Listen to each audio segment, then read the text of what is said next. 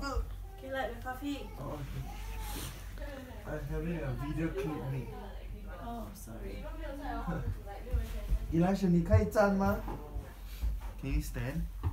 Whoa! Sure, why not? Whoa! Whoa!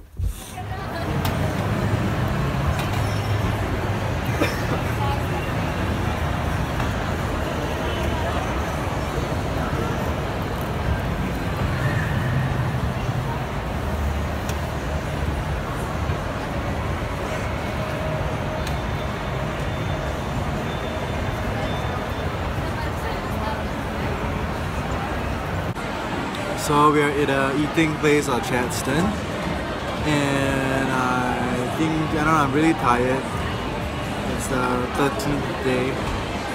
Um, I'm a bit hungry but I'm also very tired and I think I don't know if it's the food, uh, lack of carbs or something but feeling a bit down.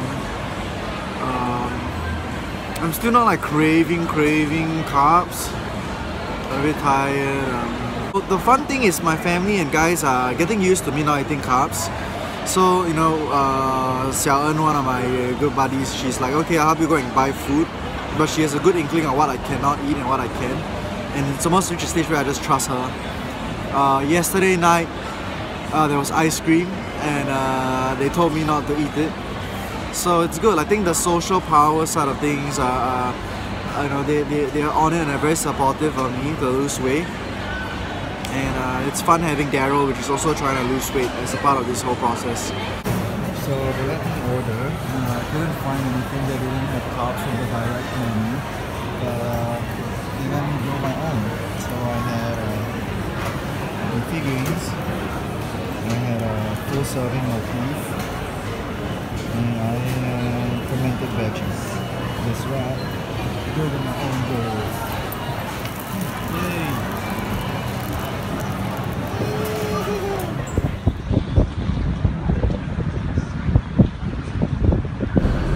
So, my random walk by the beach, and uh, yeah, the day's gonna come to an end. We're just probably gonna go home and uh, eat eat some dinner and chill.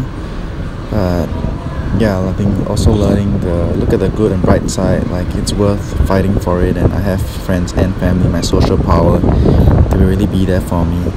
Um, and I know I can do this, and I'm gonna try my best. Yeah. So thanks for all the support and all those that are just being with me on this journey. See you later.